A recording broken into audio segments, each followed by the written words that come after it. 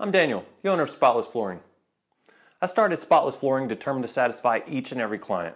I wanted to close that distant gap between what you deserve and what's available. Every day we strive to provide the best quality of work we can, to communicate well, and be as professional and courteous as possible. Now, during my time in the Marine Corps, I learned a lot about leadership, management, coordinating tasks, and professionalism. I've implemented those lessons in my cleaning business, and that's why we're on time, considerate, organized, and why we've built such a great reputation. It's also why so many of our clients think we're part of a franchise, when in fact, we're an independent small business. I seek to grow my company and teach my employees just as I've been taught. That way, they too can provide you with the service you deserve. Just take a look at what some of our wonderful clients are saying about us.